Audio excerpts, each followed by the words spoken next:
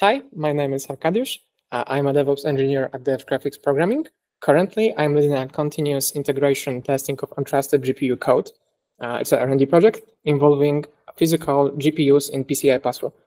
Uh, and in this talk, I'm going over how we use compute blitz filters to produce high-quality MIP maps and the theory of sample images.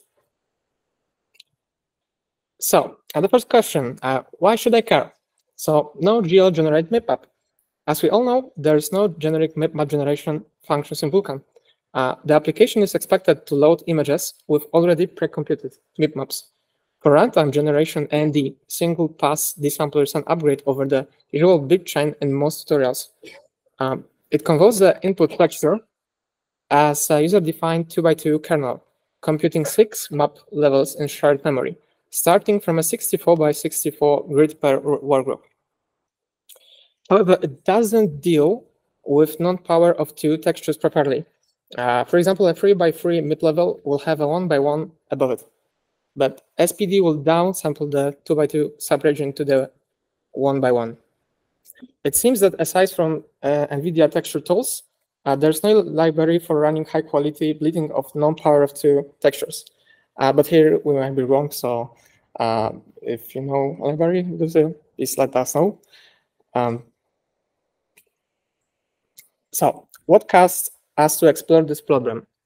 So coming back, uh, what caused us to explore the problem? Uh, so basically, runtime loading of source texture assets.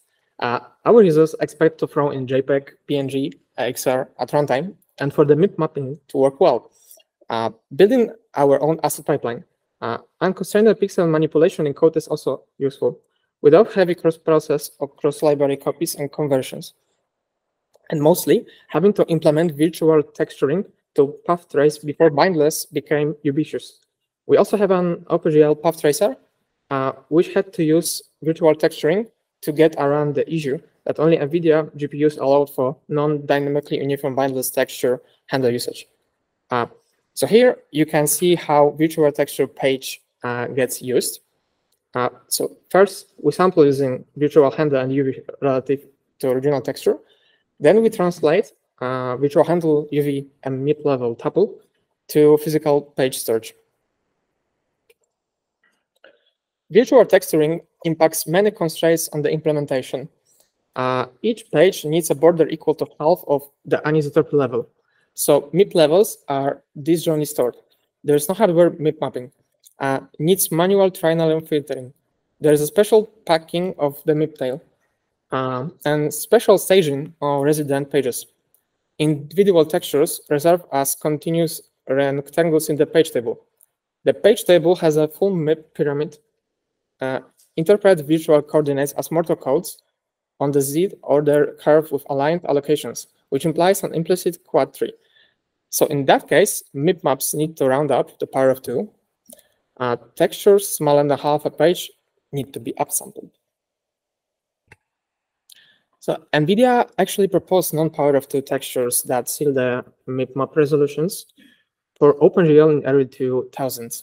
Uh, MIPMAP must be recomputed from scratch, and your favorite high-quality MIP-level generation software doesn't make these. Uh, so here there is a um, regular MIP chain. Uh, there's also our own, and our power of two textures will have one more MIP-level. Native sparse partially resident textures are still not great, so we might review this virtual texture implementation in Vulkan. Uh, bind commands are woefully slow, especially on Windows.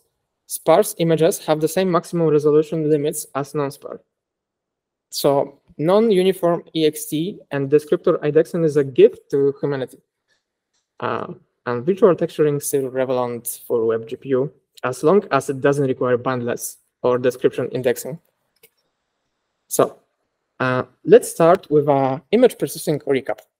An image is usually represented as a set of text texel values aligned on a rectangular grid. Text cells the value of a function at a particular sample location.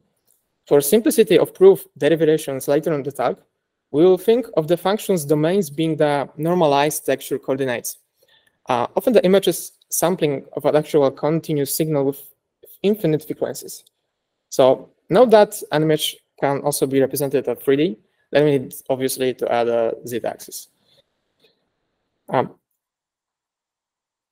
so we can view the discrete image uh, as a continuous function denoted as f, which is zero everywhere except at the pixel centers, uh, where those are delta impulses multiplied by the intensity of the pixel at position nm. So in general, texels are not boxes, but you don't have to repeat.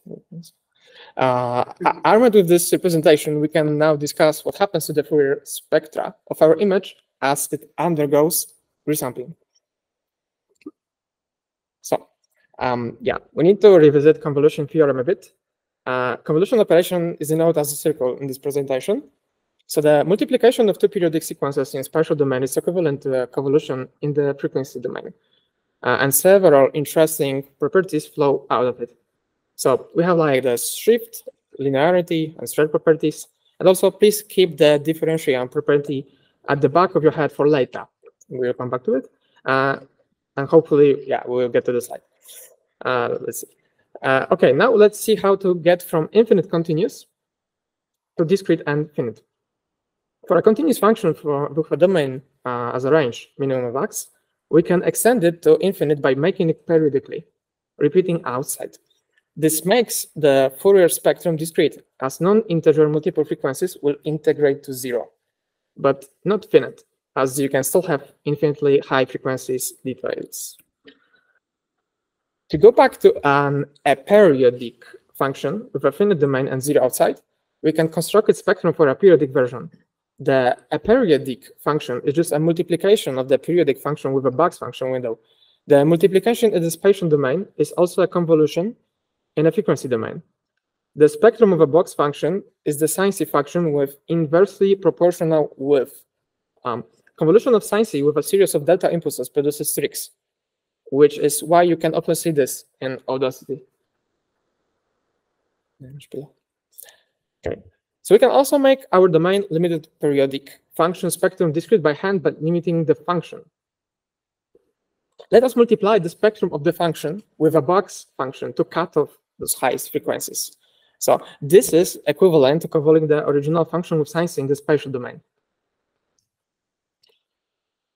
We will now discuss what happens to the Fourier spectra when warping and convolving the discrete image. Uh, spatial domain multiplication with a Dirac comb, also known as SAC function, samples the function in a one over period around about way. Uh, the spectrum of a Dirac comb is a, another Dirac comb, but with inversely spaced impulses. This kind of spawns copies of the original spectrum one over period frequency units apart, um, which means the spectrum of your sampled function is periodic. And if you didn't band limit your function before sampling, the copies overlap causing aliasing. Uh, so always think of your image spectrum as a spatial representation being discrete and periodic. And now we have a warning. Uh, power structure diagrams uh, we often see are lies. Uh, Fourier transform produces complex numbers, and a discrete um, and discrete Fourier transform produces n outputs for n inputs.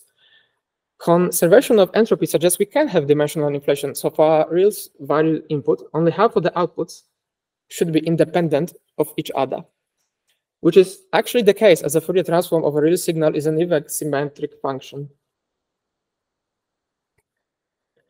Spectrums are usually illustrated with a cyclic shift. So uh, in this example, on the right, we have a plot of the module output of DFT coefficients by their indices. Uh, and on the left, we have shifted the zero frequency component to the center of the spectrum. Take this into account for, for when we are talking about borders, padding, and zooming on the next slides.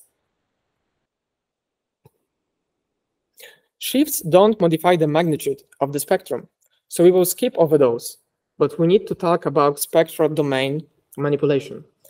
So let's start with zooming first. Uh, here we mean warping with respect to the normalized UV coordinates. So the stretch property of the Fourier transform applies. When you zoom out, resolution increases. So careful choice of new padding pixels outside original spatial domain is required. Uh, repeat is equivalent to naive spectrum resampling.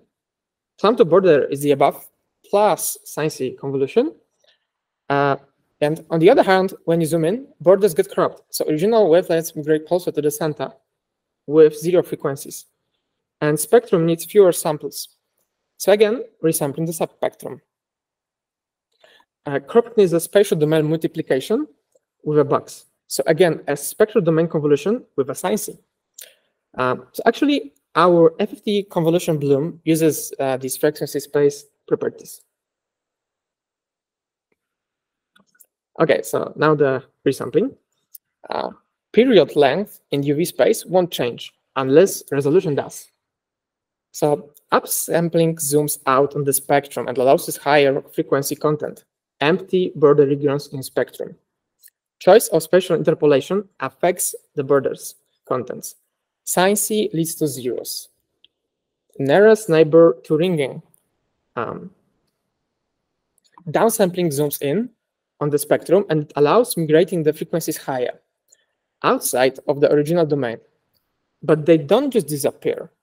Uh, if you don't band limit, they will wrap around onto the lower ones, and it will lead to classical aliasing. So I hope you are starting to see the pattern. Uh, zooming in spatial is equivalent to resampling the frequency and vice versa. And this is why I was so careful to avoid the word scaling here. Um, now let's talk about ND rotation. Uh, rotation in 2D and 3D is not really possible uh, because the sample locations usually don't align after the rotation. A rotated source image in an axis-aligned domain produces a different periodic tiling on an unbounded infinite domain. Then rotating the original's extended tiling. A continuous unbounded spectrum can be simply rotated, but the grid samples won't realign for most rotations. Artifacts introduced by wanted references being removed or added.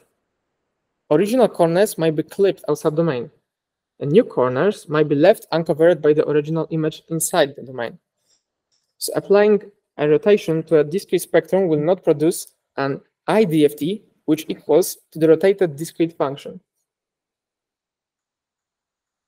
So the question now is, uh, why go into so such details?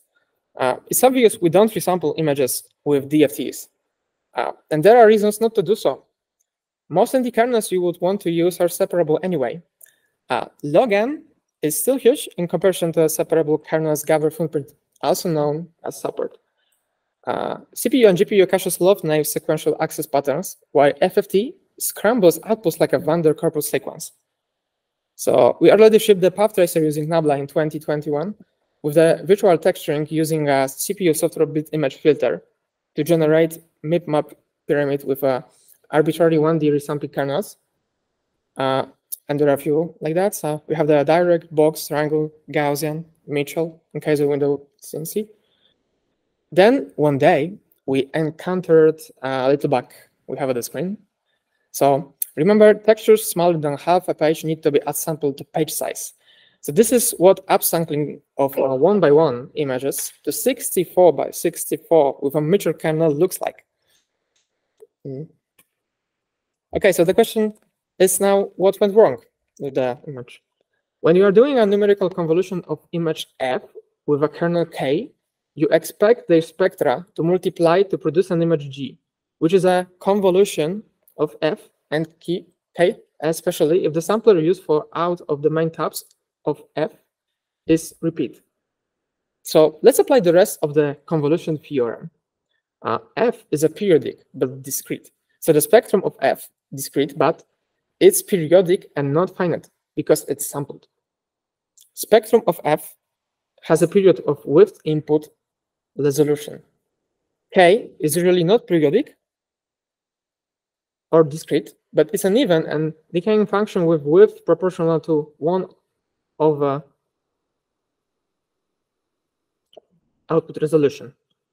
Spectrum of K has width proportional to output resolution, is continuous, a periodic, and probably infinite. Uh, spectrum of G is discrete, not periodic, and probably infinite. But when you are changing the sample locations, there's an implicit multiply by SAH with a 1 over output resolution period, uh, which is a convolution in the frequency domain, actually. So now we have copies of signals spaced output resolution heights apart uh, in the spectrum. And the less k has sin C with width less than 1 over input resolution convoluted into it, copies will overlap and it will cause aliasing. Mm. And you can believe or not, but uh, you can get aliasing when upsampling. And this is exactly the case and what happened in the 1 by 1 to 64 by 64 case. And the spectrum is supposed to be zero everywhere except at origin. But our win and output spectrum picks up some copies of the origin spike in the input spectrum. Uh, so let's think about what we actually want. One could say that we get fluctuations in the output because we have gaps in the input. Uh, Asgood and P. Hagberg in the non-power of two MIPMAP creation paper actually addresses this by having a separated reconstruction and resampling kernels. Uh, the reconstruction has a width of 1 over input resolution, and the resampling has a width of 1 over output resolution. It's been implemented in NVIDIA texture tools, but 10 filter hard-coded for both. So while we can present the full theory, convolution is associative. So you can convolve F with convolution of your reconstruct and resample. Spectrum of reconstruct convolved with resample gets double window width.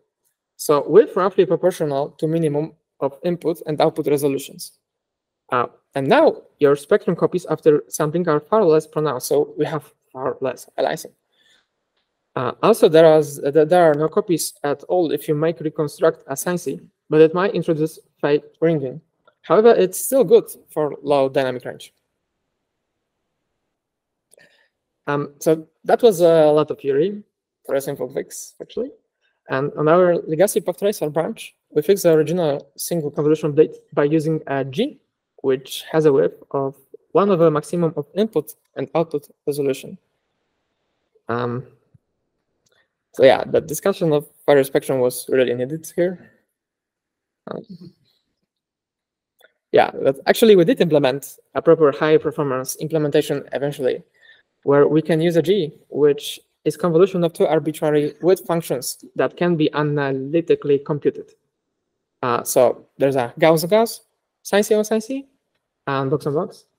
But then we went further and actually implemented the thing properly. So you can mix and match the kernels, and the above analyticals got faster as well. Mm. Yeah, and uh, image up in Nabla. Uh, as you know, there is a lot limits imposed by your physical device, which you should look out for in your applications.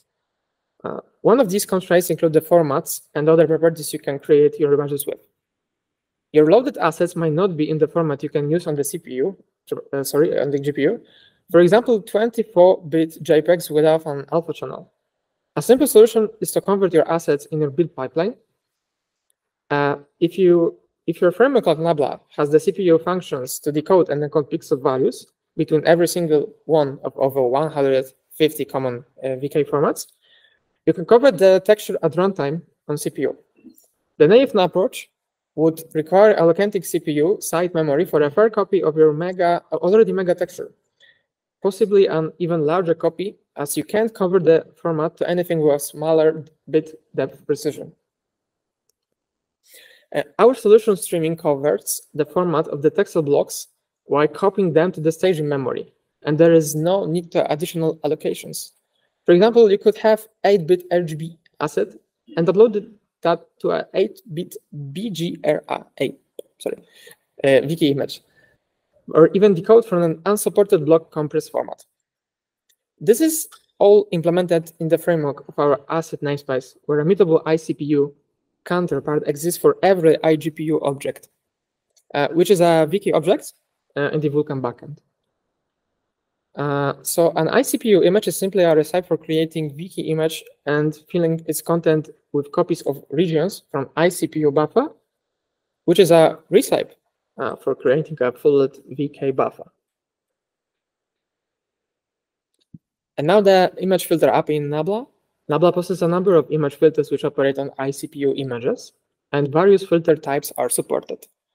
We have a few, and The way that this Switzerland cover works, for example, is that our utility creates an iCPU image whose regions are backed by a custom allocator, which itself is just a way to view an external void pointer as an iCPU buffer. In this case, the mapped GPU stage in buffer memory itself. So we just invoke the convert or copy image filter using this temporary image as an output. And our framework supports all kinds of abuse like that. Uh, for example, you can mass casual point that for a memory maps system I as an asset, iCPU buffer, and a mapped video iGPU buffer, which is a VK buffer as a file system I file. Yeah. And uh, the Nablas uh, CBlit image filter uh, has a lot of capabilities. So yeah, there's a whole list. It's composed of these uh, data and cover filters. Uh, output can have different format than input. Does a separated pass uh, each axis. Can even do a convolution in 3D. Uh, intermediate results stored after each step to a scratch buffer. We have this parallelized STD for uh, with various policies. MSCD uh, has local accumulation of convolution in doubles, supports clamp control, leverages static polymorphism for speed. So, for instance, input and output format can be provided as template parameters, and decode, get in, get in, oh, sorry, get inlined into hot loops. And switches and jitters can be compiled time too. Uh, so accounts for when alpha being used as coverage. Careful handling of the alpha channel in MIP mapping. So consider m pixels rendered with super sampling, then averaging them to a single one. The result we expect depends on the semantics. For example, for alpha testing, it causes a bug where if you move further from the right in this case, the coverage is going to break and the gate is going to seem more transparent. So for alpha testing, distribution and histogram changes, so that's the number of pixels passing the alpha test with subsequent MIP levels. So solution is scale the MIP levels alpha up and down to keep coverage percent constant. Uh, so for blending against background, we have pre-multiplied approach and not pre-multiplied approach. Uh, and in the case, it's horrible signatures and precision is due to division by average alpha. And it's just to multiply the pre-filled RGB value by average alpha when rendering. The polyphase lookup table optimization. Uh, due to rational scaling, shifting the pixel in the output makes the input pixel align slightly differently relative to the output, which leads to distinct phases. Uh, every P samples the phase repeats itself. Uh, this allows a lookup table per convolution kernel per axis to be pre-computed on the CPU, then get used by the filter implementation. P can be as large as large as maximum of input and output resolutions. For example, when one is 1023, another 1024. But because we usually convolve 2D and 3D images, uh, the lookup table consumes very little memory and can fit into L2 CPU or L1 GPU cache. Some kernels, like sinc, are expensive to evaluate. So fetching value from lookup table is faster. We can afford the kernel to be a convolution of arbitrary reconstruction and resampling functions because they are comparatively few values in the lookup table and we can compute them through numerical integration. Uh, the previously covered special cases of Gauss and Gauss, etc., are handled via C++ template specializations. Max support size is computed by taking the support of the convolution kernel whose width has been scaled to match the output sampling interval.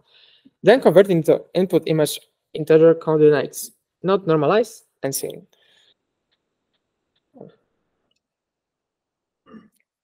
Considerations for a GPU implementations are different. Uh, so do not want a separable dispatch per axis. Batches of compute blit dispatches can be very large. For instance, because you need to recompute all maps in a scene at once. Uh, Allocating and synchronizing per axis pass intermediate output global cache memory, and it limits parallelism. Would need pipeline barrier between every pass on the same image. So Vulkan events split barrier span. Uh, GPUs are much more parallel than CPUs, so might actually have more resident invocations than image scanlines. Uh, do all three access at once in a single dispatch instead. Store directly to output, but keep the convolution separable. Normalizations like alpha coverage adjustment requires cache memory and one or two extra dispatches. However, histograms are fixed size per image, depend on value bucket count. Uh, no separable prefix sum dispatch needed, small enough to be done redundantly in a workgroup. Transitant high precision, floating points, etc. Uh, precount and data storage size is proportional to output resolution. Uh, and want to avoid double precision, like the plugin. Leverage, leverage free format conversions, so access the lookup table as uniform texel buffer. Uh, time for some implementation details. Here are our precedent evocations mapped in a snake order to shared memory indices. We preload an input texel patch into workgroup shared memory, which will produce an output patch. Then we issue an workgroup execution barrier.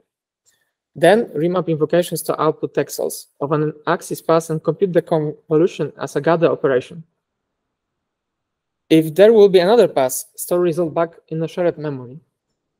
Otherwise, store straight to output image. There are wasted loads on the border of the cube where work groups overlap. As output needs to have the kernel support disk subtracted. The kernel supports needs to be small and have an actual range limit. There are some fun potential optimizations we are about to try. Uh, register files and can can halve shared memory usage by using local private variables to perform the swap of shared memory contents for the price of one extra workgroup execution barrier. Vulkan's storage image write without format feature lets you have a single by for all the deleting of images of identical SPIR-V dimension. Bonus, uh, pick the first and second pass access to minimize intermediate output search. Output patch can be larger if each color channel is processed separately or half is used for intermediate storage. So you want to provide the blit as a single header and not as a single shader. And HLSL 2021, most templates enables decoupling input-output parameter storage from descriptor and public layouts, descriptor binding. Aggressive inlining and constant expression elimination with without global identifiers, more than one instance possible. So the C++ functions for transcoding texel blocks have been written many years ago.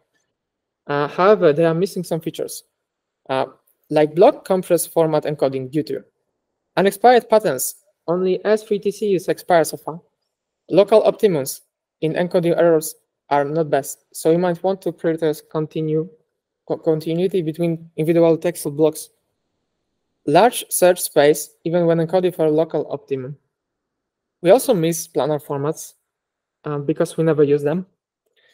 Uh, want a single header SHL implementation, which compiles as C++, but we need to avoid 8 bytes formats as a transitive formats unless truly necessary. We will probably start with porting format enums and format trace, but it's a low priority goal. So coverage ranges, precision, etc. And at the end, we have a bonus round with high quality normal and derivative maps. We can smack a derivative operation in the middle of our resample G, which is gradient of f convolved with convolution of reconstruct a resample and then multiplied by the sum. But convolution is commutative as well. So the above is equivalent to single convolution blit of f with k. Uh, denoted as a gradient of reconstruct and resample convolution or reconstruct convolve with gradient of resample. We have implemented derivative property to our templated Gauss on Gauss, sin C on sin C, and other comps.